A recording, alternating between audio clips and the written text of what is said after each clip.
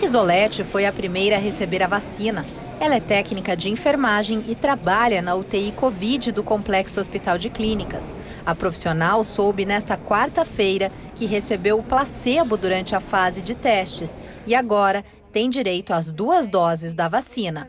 É um prazer estar participando do grupo de pesquisa e saber que chegou o dia importante que é o dia de hoje, através das pesquisas que se teve, né? Éder e Daiane são casados convivem em casa e no trabalho, pois ambos são técnicos de enfermagem do CHC. O casal foi voluntário durante a fase de testes em 2020. Eles não sabiam, mas somente Daiane estava imunizada. Éder tomou o placebo no ano passado e agora a primeira dose da vacina quando recebi a notícia que era placebo, respirei aliviado porque sabia que ia receber a vacina. Uh, de qualquer forma, sempre pensei que tinha já recebido, por nunca ter apresentado nenhum sintoma nesse período todo. Eu me sinto aliviada por saber que a gente está indo para um caminho certo, né, onde a população também vai ter esse acesso. Nós da saúde estamos tendo essa oportunidade e agora dias melhores vão vir. A enfermeira-chefe da UTI Covid do CHC, Lígia Palu, e o médico residente Rafael Barbosa também foram vacinados durante a cerimônia que aconteceu no saguão do Complexo Hospital de Clínicas. O grupo recebeu placebos durante a fase 3 de testes da Coronavac e tinha direito à dose, de acordo com o previsto na parceria técnico-científica entre a UFPR e o Butantan. Como líder, eu tenho mostrar que a ciência é o que deve prevalecer, que a vacina faz parte de um processo e que o Hospital de Clínicas ele é pioneiro e ele é, ele é um hospital escola e que as pesquisas fazem parte da nossa vida como, como uma rotina do, dentro do hospital.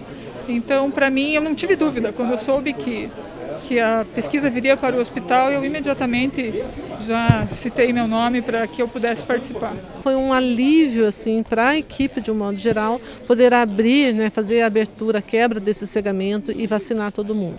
Então nós estamos assim bastante é, é, felizes com isso, mas também nós sabemos que o estudo continua, né? Então o estudo tem uma duração de um ano. Esses, é, todos esses participantes vão continuar sendo acompanhados. Nós vamos, nós temos algumas visitas já agendadas.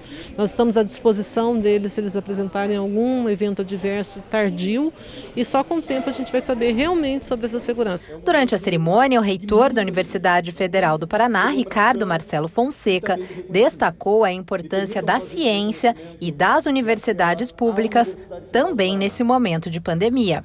Num momento de tamanha gravidade, como foi e é esse momento por que passamos, ninguém mais há de duvidar a centralidade, a importância da ciência, não só para o desenvolvimento, para a soberania, como sempre falamos, mas também para a saúde e também para a vida. 1.400 voluntários da área da saúde participaram dos testes realizados em 2020 no CHC.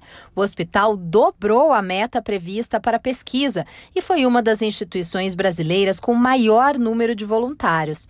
Além dos testes, o CHC participa ativamente do combate à Covid-19. São 76 leitos de UTI e 83 de enfermagem destinados a pacientes infectados com o coronavírus. Foi todo um processo de assistência, ensino e agora entra com a, com a, pesquisa junto, com a ciência junto. É um momento realmente histórico e acho que é um momento muito especial para a Universidade Federal do Paraná.